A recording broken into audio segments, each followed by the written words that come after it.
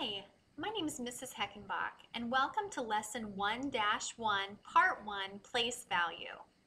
The learning goal is use standard, expanded, and word form to write numbers. In your math journal, you will need to write down the learning goals for Lesson 1, Part 1. The learning goals are understand the difference between value and place value. Identify the place value position of a given digit of a number and the value of a digit of a number. And place commas in the correct place in large numbers. In every lesson that we do, you will need to write down the lesson title and the learning goals in your math journal. Writing down the learning goals is important so you know the things that you're responsible for throughout the lesson. And that way, when you finish the lesson, you can recheck the learning goals to make sure that you've mastered them. And if you haven't, then you know that you need to go back through the lesson and watch the video again or maybe do some more practice problems. Please pause the video now and write down the lesson title and learning goals. When you've finished, resume the lesson by pressing play. In your math journal for each lesson, you will also need to write down the vocabulary terms or words. Today's vocabulary begins with the term digit.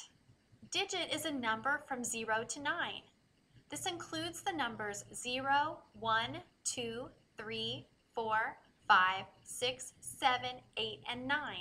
Probably in the past you've just called these numbers, but in fifth grade we're going to start referring to them as digits. Our next vocabulary word is value. Value is how much a digit is worth based on its place or position in a number.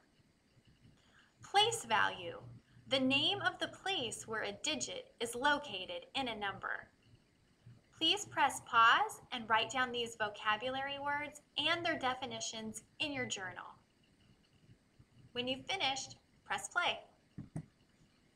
So what is the difference between value and place value? Well, the place value of a number is a little like the address of the number. It's the name of the place where the number is located on the place value chart. And it's usually represented in words. Please look at the place value chart at the bottom of the slide. You'll see that we have the number 6,392,580,101. Above each digit, you'll see the place value position of the digit. They're listed as ones, tens, hundreds, thousands, ten thousands, hundred thousands, millions, ten millions, hundred millions, and billions. The value of a number. Remember, the value of a number is how much it's worth. The value is usually represented by numbers. So if we look at the example, 7,534, you'll notice that the 7 is underlined. The 7 is in the thousands place and has a value of 7,000. So let's talk about how we determine place value. Let's use the number 4,982 to practice. You'll see that the 9 is underlined what would be the place value of the 9? Well, we need to determine what its place value is, and we can do that by knowing that the 2 is in the 1's place, the 8 is in the 10's place, so the 9 would be in the hundreds place. The place value of 9 is in the hundreds place. That is the place value position of where the number is located. I'm sure all of you have worked with place value charts in the past, so it's just important that in fifth grade we know what each of the place value um, positions is labeled. So we need to know where the ones, tens, hundreds, thousands, and so on are located on the place value chart.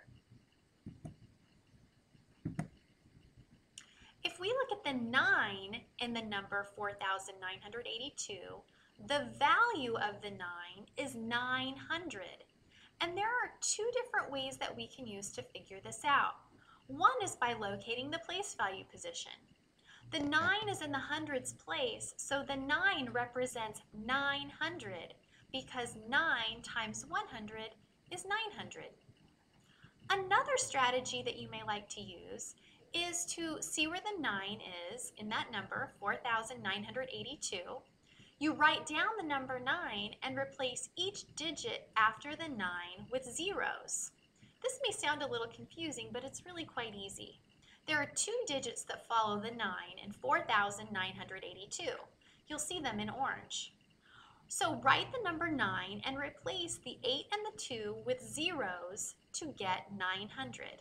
So those are two strategies that you can use to determine the value of a digit in a number.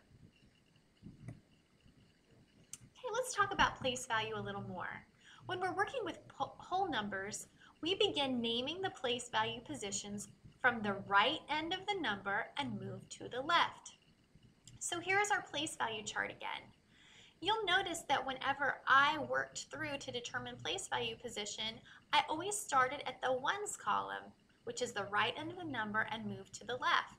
You'll see that the 1 in this large number is in the ones column, the zero is in the tens, then we have hundreds, thousands, ten thousands, hundred thousands, millions, ten millions, hundred millions, and billions. You'll also notice that above those place value position labels, you'll see something that's labeled periods. You'll see ones period, thousands period, millions period, and billions period. This is important because whenever we want to place commas in large whole numbers, we need to know that there are three digits between the commas. These three digits together are called a period. And the names of those periods that you'll be using are ones, thousands, millions, and billions. Let's look at the example. We have the number 567 billion, 243 million, 298,961. Did you hear that each comma had a name when I said that number? Well, each comma does have a name, and that helps us to say large whole numbers correctly. Those names are thousand, million, and billion. And you'll need to be sure that you know those. You'll get a chance to practice in just a moment. So in each lesson, we will always have practice problems. These problems need to be written in your math journal. You'll need to number the problems correctly and write your answer in the journal. It's not necessary to write down the entire question.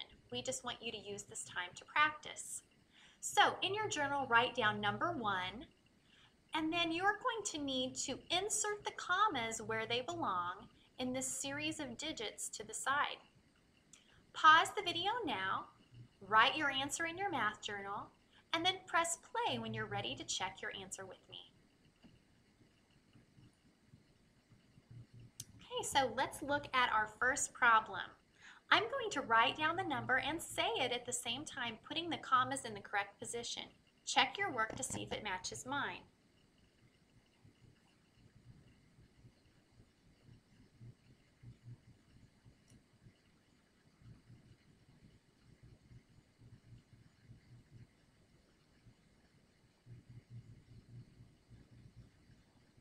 Okay, we have 493 billion, 756 million, 213,009.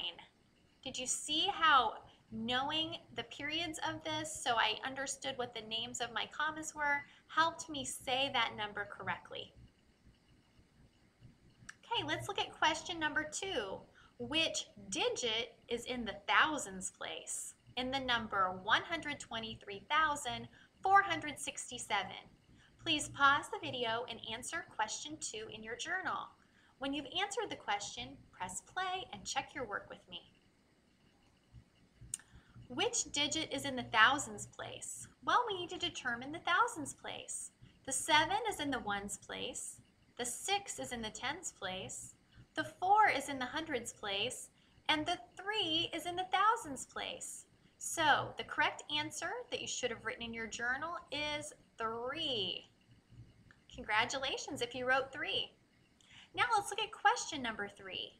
What is the place value position of the 6 in the number 123,467? Please write that answer in your journal and then check your work with me. The place value position of the 6, well, we have to know our place value positions. We know the 7 is in the ones place value position. So the 6 is in the tens.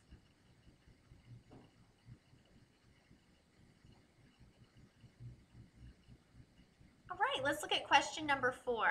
What is the value of the 5? If you don't remember what the value is, you might want to check back in your work, in your journal, to check that vocabulary term. The value of the 5 in the number 7,890,534. Please write your answer in your journal and then press play when you're ready to check your work with me. Okay, the value of the 5. Well, there's a couple different strategies we learned for determining this. We can determine the place value position of the 5. The 4 is in the ones column, the 3 is in the tens column, and the 5 is in the hundreds column.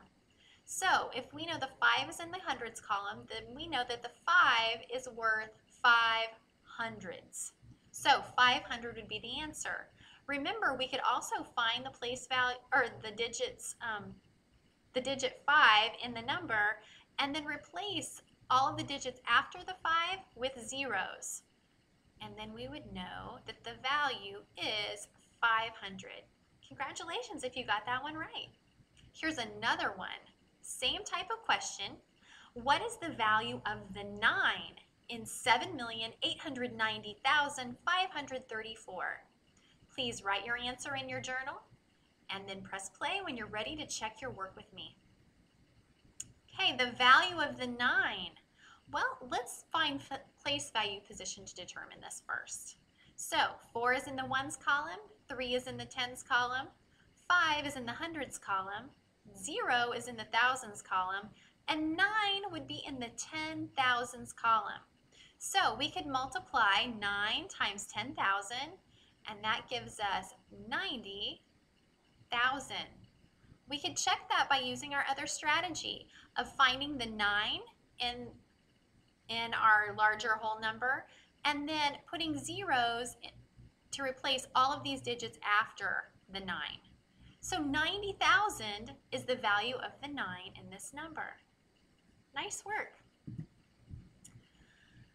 As we finish our lesson, we always go back and review our learning goals in our journal. This is important so we can know if we actually mastered all the learning goals of the lesson. If you had trouble with some of them or you're unsure, you need to go back and review the video and possibly do the practice problems again. In your journal, you will also need to write down any questions that you might have about the lesson. We will have time to talk about these tomorrow. And now it's finally time to celebrate have you that you've completed lesson one, part one of our math flip lesson. Congratulations. Thank you for working hard and we'll see you tomorrow at school.